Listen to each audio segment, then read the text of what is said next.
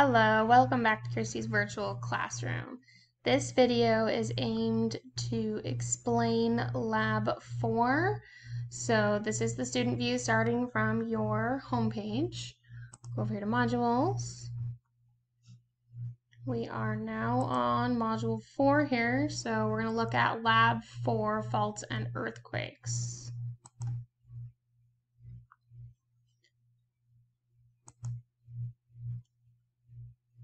Okay, so this is broken down into different sections. There's an intro here for you to read, just to kind of refresh your memory on faults and earthquakes.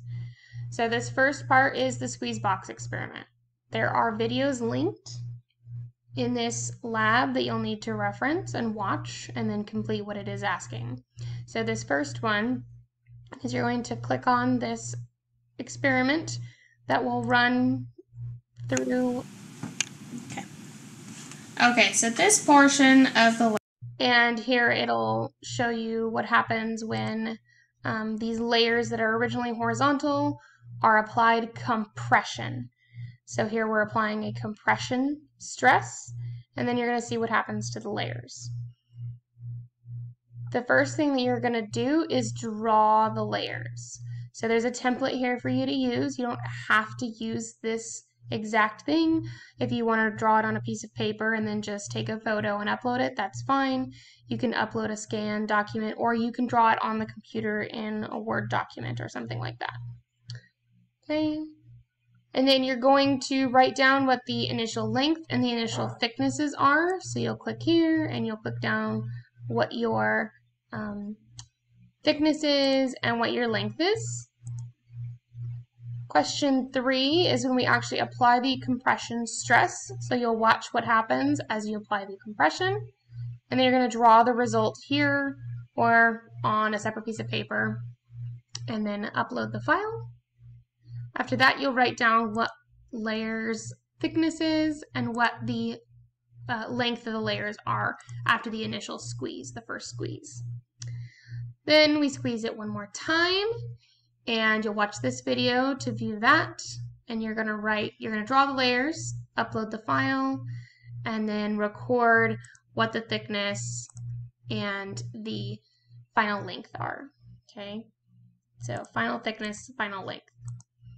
Okay? Then you're going to um, answer a couple of questions here. So what type of faults do you observe? Um, if you listen carefully in the video you should be able to figure this out. Um, how can you observe faults and folds? What stress was applied to the squeeze box? I just said it a minute ago, so hopefully you get that. And then what type of plate boundary do you think this is similar to? So once you know the stress, that'll help you determine what plate boundary. Remember, divergent plate boundaries are from tension, transform are from shear, and convergent are from compression. Okay, so keep that in mind when you're doing this. Part two is looking at an earthquake machine. So um, each of these are a different fault. So the first fault here is the White Wolf fault. So this one has a different um, parameters, and that's talked about in this video. This is actually my mom. um, we made the videos together. So it'll ask you some questions like what do the winch movements represent? And it gives you three options, and they're basically these three. Change in brick position, and then the change in um, the bungee cord. So this is all talked about in the video, so as long as you pay attention to the video, you should be okay here.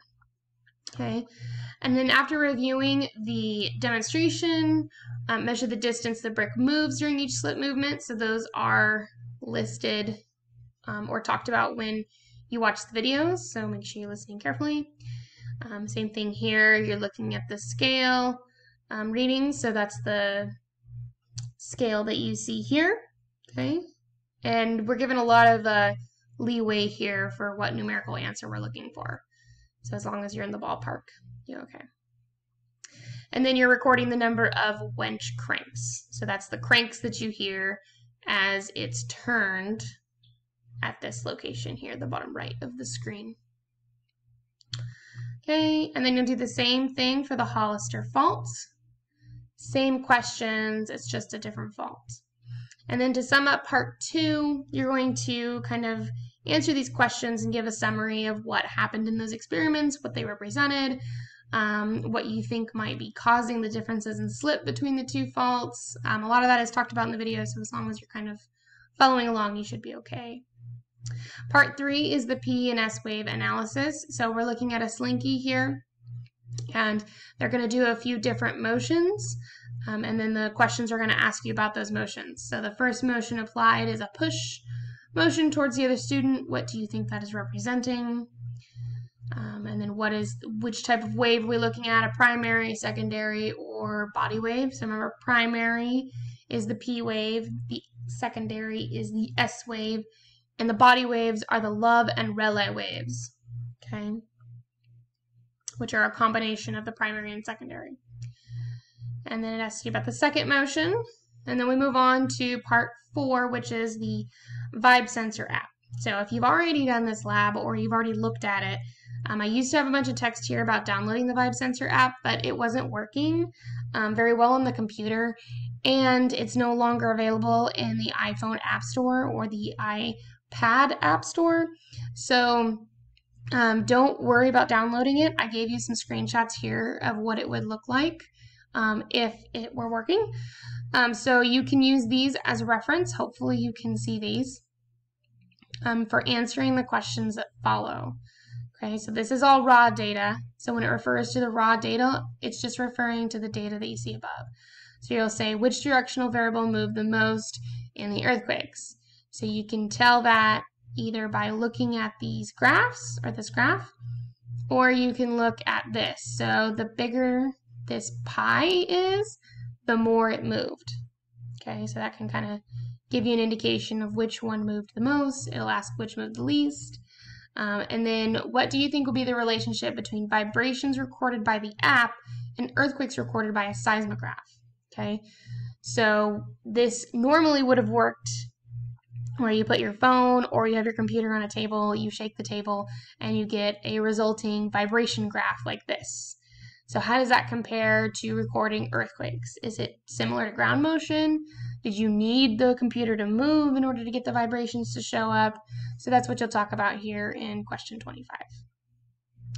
Part 5, you're reading seismographs. So this, these three seismographs are from the Ridgecrest, Ridgecrest earthquake that occurred um, last July. So you might have remembered some of these. You might even have um, some videos of things moving if you were fast enough. But um, these are three different seismic stations. Remember, on our x-axis is the time, and the y-axis is the amplitude. Now, the amplitude here is in millimeters. It is cut off, um, but it is in millimeters. And down here, when you're answering these questions, you do not need to include the unit. So just put the number in these questions. So questions 26 through 35, you're just including the numbers. Okay, so don't don't worry about the units. They have units, but we're not going to worry about it when you enter it into this um, numeric answer box. Okay, so remember to figure out the amplitude, you find the highest point, and then you read off what the graph says over here. Okay, so find the highest point and read it off. I recommend if you have access to a printer to printing this out. If you don't have access to a printer, try to use a ruler or a straight piece of paper to find your peak and read what that amplitude would be. Same thing with finding your arrival time. So remember the P wave arrives first. So on this graph, it would be this point right here and read what that time is in seconds. Kind of break up this distance. So from 25 to 30, there's five points, right? It's five spaces. So there should be four little lines in here you break up and try to just estimate as best you can. And then your S wave arrives here where it starts to go up really high. And so just estimate what that would be. And then your lag time is the difference between those two. Remember the lag time is the difference in arrival between the P wave and the S wave. Okay, so when you're calculating lag time, if it shows up at 26 and 33, it's 33 minus 26. Okay, so you do that for each of the graphs and you'll put that information in here. Okay, so once you have your lag time and your amplitude, you can start figuring out the magnitude. So here again, if you print it out, it'll be a little bit easier for you, or you can take a ruler or some sort of straight edge across So you're going to take your lag time or your SP interval, plot it here. Your magnitude is then plotted on this chart, and you draw a line connecting them. Okay, so this right-hand side on the far left is the SP interval or the lag time, and this one on the far right, this chart is your amplitude. Your magnitude is what you read in the center here. Okay, you should get somewhere between 5 and 6. So if you're not getting between 5 and 6, you might need to ask me for help. Okay, so that's where you're going to put when it asks you what the magnitude of this earthquake is based on the amplitude and lag time of a particular seismograph. That's what you're going to put here. And it's a numeric answer. Don't put your units. Okay? And then in your own words, what is the relationship between magnitude, excuse me, between um, amplitude on the seismograph and the amount of energy released in a particular fault. Um, does what type of forces drive both faults and folds? So make sure you're answering these questions to kind of summarize the lab in, in total. So this isn't just the last portion, this is looking at the lab overall. Okay, so hopefully that helps you out. And if you have any questions, please let me know. Thanks.